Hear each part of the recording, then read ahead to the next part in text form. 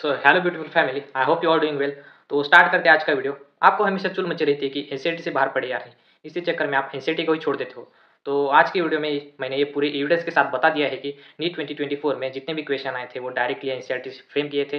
Directly N से लाइनें उठाकर क्वेश्चन फ्रेम किए हैं। पूरे पूरा का पूरा पेपर आपका बायोलॉजी का एन में से ही बनाया है। तो एंड तक बने रहिए और वीडियो अगर पसंद आए तो वीडियो को लाइक ज़रूर करना। तो चलो स्टार्ट करते हैं आज का अमेजिंग सा वीडियो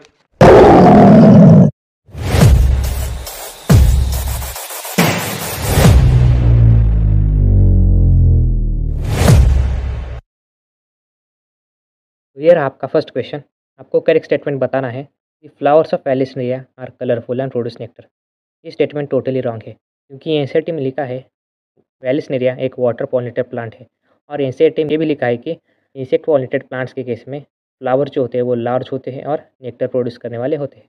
वो ये स्टेटमेंट आपका रॉन्ग हो गया। नेक्स्ट स्टेटमेंट देखो। The flowers of water lily are not pollinated by water ये स्टेटमेंट टोटली करेक्ट है because water lily is pollinated by insect और wind and it is not pollinated by water.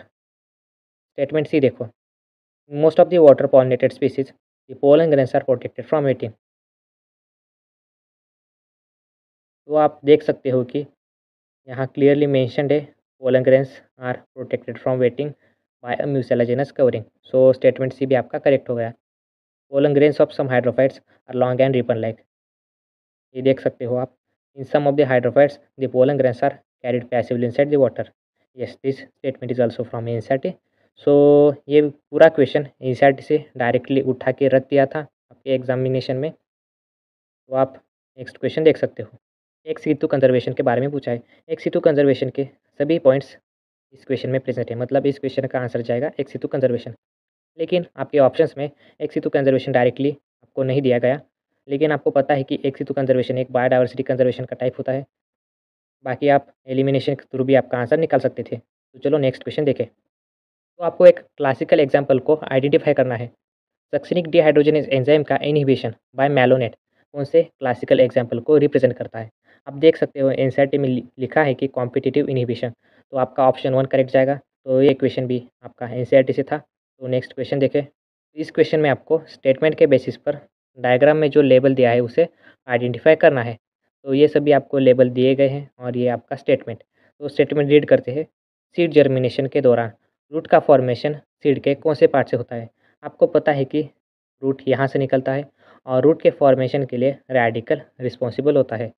और radical N में यहाँ present है मतलब इस diagram में भी रेडिकल यहाँ प्रेजेंट होगा। तो आपका label C correct option one correct ये स्टेटमेंट भी हंड्रेड परसेंट एन से था। तो चलो नेक्स्ट क्वेश्चन की तरफ़ चले। तो फिर इस क्वेश्चन में आपको बुलीफॉर्म सेल्स का फ़ंक्शन बताना है। तो आप देख सकते हो, बुलीफॉर्म सेल्स के अंदर अगर वाटर भर जाए तो वो फ्लासिड हो जाएँगे, फूल जाएँगे।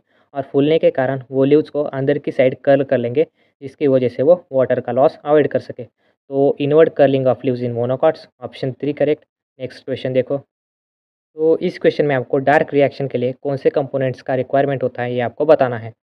तो एन में ये मैंशन है कि डार्क रिएक्शन ही बायोसिंथेटिक फ़ेज़ होती है। और बायोसिंथेटिक फ़ेज़ के लिए आप लाइट पर डायरेक्टली डिपेंडेंट तो नहीं होते, लेकिन लाइट रिएक्शन के थ्रू लाइट का यूज़ करके जो प्रोडक्ट फॉर्म होते हैं, आप यूज़ कर सकते हैं।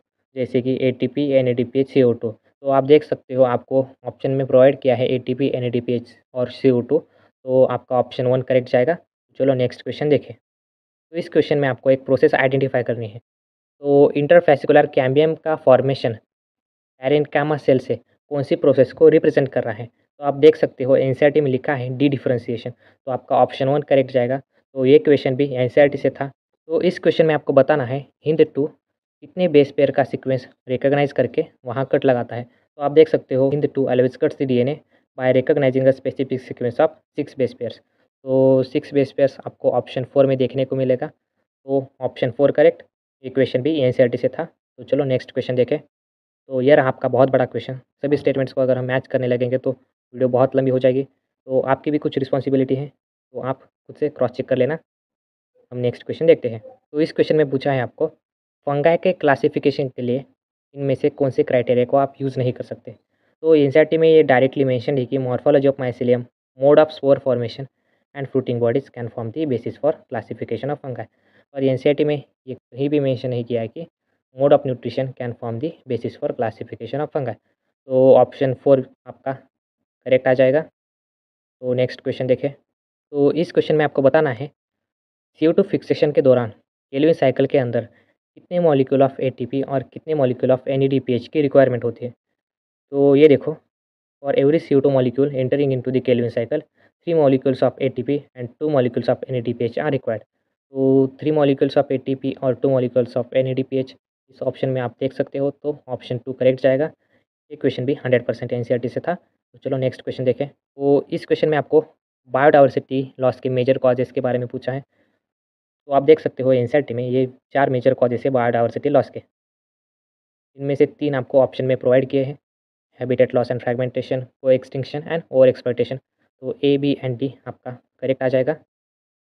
So option two correct next question देखो। क्वेश्चन में आपको पूछा है कि प्लांट के पास ऐसी कौन सी कैपेसिटी है जिसके थ्रू प्लांट किसी भी पार्ट से, किसी भी सेल से होल प्लांट का जनरेशन कर सकता है। तो एन में आप देख सकते हो कि इस कैपेसिटी को आप टोटी पोटेंसी बोलोगे टोटी पोटेंसी आप यहाँ देख सकते हो ऑप्शन थ्री में। तो नेक्स्ट क्वेश्चन देखें। तो इस पर्टिकुलर इक्वेशन में आपको ये आइडेंटिफाई करना है। ये क्या है? ये रिप्रेजेंट करता है आपकी कैरिंग कैपेसिटी को। तो option one correct next question देखो।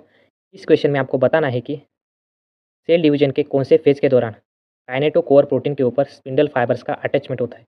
तो आप देख सकते हो metaphase during which chromosome is connected by its kinetochore to the spindle fibres तो ऑप्शन फोर आपका करेक्ट आ जाएगा। ये भी क्वेश्चन एन से था। नेक्स्ट क्वेश्चन देखें। तो इस क्वेश्चन में आपको डायरेक्टली डायग्राम आइडेंटिफाई करना है। ये डायग्राम है आपको। ये एन में मैच हो रहा है डायग्राम इस डायग्राम की लेबलिंग की है पेरिकाइनस बोल के। तो आपका ऑप्शन टू करेक्ट आएगा। तो नेक्स्ट क्वेश्चन देखें। तो इस क्वेश्चन में आपको जोड़ियाँ लगानी है। तो देखो राइजोपस राइजोपस को बोलते हो आप ब्रेड मोल्ड तो थ्री के साथ जोड़ी लगा दो तो स्टील आगू को आप स्मर्ट फंगस बोलते हो तो दूसरे के साथ जोड़ी लगा दो। पक्सीनिया पक्सीनिया रस्ट फंगस होता है तो पक्सीनिया आ जाएगा फोर के साथ। और आगारिकस आगारिकस को आप मशरूम बोलते हो तो आगारिकस को मैच कर दो वन के साथ। तो ये देखो ऑप्शन थ्री आपका करेक्ट आ रहा है तो ये क्वेश्चन भी एन से था। नेक्स्ट क्वेश्चन देखें। तो ये आपका जेनेटिक्स का क्वेश्चन है, थोड़ा सा कंसेप्चुअल क्वेश्चन है, लेकिन आपके अगर कंसेप्ट क्लियर होंगे तो आप इजीली इस क्वेश्चन को सॉल्व कर पाएँगे।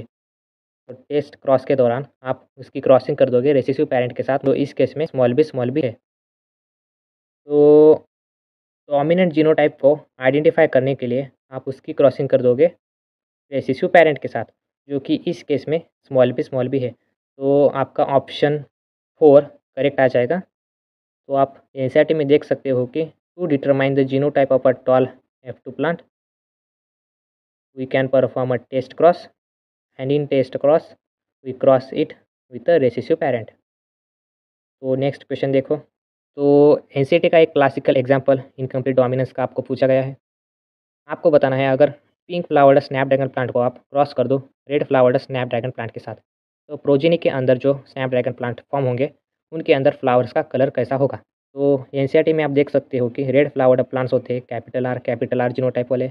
पिंक होते हैं, कैपिटल आर स्मॉल आर और वाइट होते हैं, स्मॉल आर स्मॉल आर तो आप अगर पिंक कलर्ड फ्लावर की क्रॉसिंग कर दो, रेड कलर्ड फ्लावर्स के साथ, बाय यूजिंग पूनेट स्क्वायर तो आपको कुछ प्रोजनी के अंदर ऐसे जिनोटाइप्स देखने को मिलेंगे। ये होते हैं रेड कलर्ड, ये होते हैं पिंक कलर्ड तो red as well as pink flowered plants आपको देखने को मिल रहे हैं रिज़ल्ट में। तो ऑप्शन फोर आपका करेक्ट आ जाएगा। तो चलो नेक्स्ट क्वेश्चन देखें। तो इस क्वेश्चन में आपको मैचिंग करनी है। तो फ़र्स्ट स्टेटमेंट रीड करो। The two or more alternative forms of a gene मतलब जीन को हम दो डिफरेंट फॉर्म्स में रिप्रेजेंट कर सकते हैं और उन्हीं डिफरेंट फॉर्म्स को आप एलिल बोलोगे। तो एलिल प्रेजेंट है यहाँ मतलब एक मैच हो जाएगा थ्री के साथ। तो ऑप्शन वन का आपका करेक्ट आ रहा है। सिर्फ़ सिंगल मैचिंग करके ही आप आंसर निकाल सकते थे। तो चलो नेक्स्ट क्वेश्चन देखें। तो ये भी आपका एक एन का क्लासिकल एग्ज़ाम्पल है। आपको बताना है लेसिथिन कौन से बायोमोलिक्यूल का एग्ज़ाम्पल है? तो आप देख सकते हो फॉस्फोलिपिड का एग्ज़ाम्पल होता है लेसिथिन तो ऑप्शन फोर करेक्ट ये क्वेश्चन भी एन से था। नेक्स्ट क्वेश्चन देखें। तो कॉलम वन में आपको कुछ ऑर्गेनिजम्स दिए हैं और कॉलम टू में उनके प्रोडक्ट्स दिए हैं। तो आपको मैचिंग करनी है। तो आप देख सकते हो क्लोस्ट्रीडियम ब्यूटालिकम होता है। ब्यूटारिक एसिड प्रोड्यूस करने वाला बैक्टीरिया सैक्रोमाइसिस सेरेबेसी होता है। इथेनॉल प्रोड्यूस करने वाला यीस्ट ट्राइकोडर्मा पॉलिस्पोरम होता है एक फंगस जो कि साइक्लोस्पोरिन ए का फॉर्मेशन करता है। स्टेप्टोकोकस आपका फॉर्मेशन करता है। स्टेप्टोकाइनेज का। आपका ऑप्शन वन मैच हो रहा है। तो ये क्वेश्चन भी एन से था। नेक्स्ट क्वेश्चन देखो। तो इस क्वेश्चन में आपको स्टेटमेंट के बेसिस पर डायग्राम में लेबल आइडेंटिफाई करना है। तो स्टेटमेंट रीड करो। इस डायग्राम में ऐसा कौन सा कंपोनेंट है जिसकी आउटर वॉल थिन है और इनर वॉल थिक है? तो आप देख सकते हो लेबल से आपका करेक्ट आ जाएगा, क्योंकि एन में लिखा है कि outer walls are thin and inner walls are thick in case of guard cells तो गार्ड सेल्स एन में यहाँ प्रेजेंट है तो इस लेवल में भी गार्ड सेल्स यहाँ प्रेजेंट होंगे। तो ऑप्शन सी आपका करेक्ट आ जाएगा। नेक्स्ट क्वेश्चन देखो। तो एक्टिनोमॉर्फिक फ्लावर का एग्ज़ाम्पल आपको बताना है, जो कि दतुर आ जाएगा ऑप्शन थ्री करेक्ट आप क्रॉस चेक कर लो नेक्स्ट क्वेश्चन देखें। तो ट्रांसक्रिप्शनल यूनिट के अंदर कौन से थ्री रीजन्स आते हैं? आप देख सकते हो प्रमोटर स्ट्रक्चरल जीन टर्मिनेटर जो कि आपके ऑप्शन टू में प्रेजेंट है। ये आ जाएगा आपका ऑप्शन करेक्ट तो नेक्स्ट क्वेश्चन देखें। ये क्वेश्चन आप खुद से चेक कर लेना। सभी स्टेटमेंट्स अगर मैच करने बैठेंगे तो वीडियो बहुत लंबी हो जाएगी। सभी चीज़ें हाईलाइट कर दी है, आप खुद से देख सकते हैं। तो चलो नेक्स्ट क्वेश्चन देखें। तो इस क्वेश्चन में आपको बताया है कि ऑक्सीजन का यूज़ करते हैं गार्डनर्स वीड फ्री लॉन्च के प्रिपरेशन के लिए। लेकिन वो ग्रासेस के ऊपर कोई भी डैमेज क्यों नहीं शो करता? तो आप एन में देख सकते हो कि टू कॉमा फोर डी जो कि आपका ऑक्सीजन होता है तो इस ऑक्सीजन का यूज़ करके आप डायकॉटिलिडोनस वीड्स को किल कर सकते हो। लेकिन ये मोनोकॉट प्लांट्स पर कोई भी डैमेज शो नहीं कर सकता। तो ग्रासेस होते हैं आपके मोनोकॉट्स मतलब आपका ऑप्शन वन करेक्ट आ जाएगा। तो नेक्स्ट क्वेश्चन देखें। तो कार्बोक्सी पेप्टाइड एंजाइम के लिए को फैक्टर कौन सा होता है, ये आपको क्वेश्चन में पूछा है। तो आप देख सकते हो कि zinc is a cofactor for proteolytic enzyme और कार्बोक्सी पेप्टाइडेज तो ऑप्शन थ्री आपका करेक्ट आ जाएगा। ये क्वेश्चन भी ये एन से था। तो चलो नेक्स्ट क्वेश्चन देखें। इस क्वेश्चन में आपको पूछा है कि लैक्टोज का ट्रांसपोर्ट बैक्टीरियल सेल के अंदर करने के लिए कौन सा एंजाइम रिस्पॉन्सिबल होता है? तो आप देख सकते हो कि lactose is transported into the cells through the action of permease enzyme so आपका ऑप्शन वन करेक्ट आ जाएगा। तो चलो नेक्स्ट क्वेश्चन देखें। तो ये क्वेश्चन भी आपको खुद से क्रॉस चेक कर लेना है। सभी चीज़ें मैंने एन में हाईलाइट कर दी है। हम नेक्स्ट क्वेश्चन की तरफ़ मूव करते हैं। तो स्टेटमेंट वन रीड करो। BT toxins are insect group specific तो आप देख सकते हो ये लाइन प्रेजेंट है एन में। तो स्टेटमेंट वन आपका करेक्ट आ जाएगा। स्टेटमेंट टू देखो। BT toxin exist as inactive protoxin in Bacillus thuringiensis. However, after ingestion by the insect, the inactive protoxin gets converted into active form due to the acidic pH of insect gut. तो ये statement आपका wrong हो जाएगा क्योंकि N में लिखा है कि इनएक्टिव प्रोटॉक्सिन इंसेक्ट के गट के अंदर जाने के बाद उसके गट के अल्कलाइन पीएच की वजह से कन्वर्ट हो जाता है एक्टिव टॉक्सिन के अंदर। तो यहाँ आपको एसिडिक पीएच दिया है और एन में दिया है कि अल्कलाइन पीएच तो ये स्टेटमेंट आपका रॉन्ग हो जाएगा। तो statement one is true statement two is false तो आपका ऑप्शन वन करेक्ट आ जाएगा। तो चलो नेक्स्ट क्वेश्चन देखें। तो ट्रू और फॉल्स आपको बताना है। स्टेटमेंट वन रीड करो।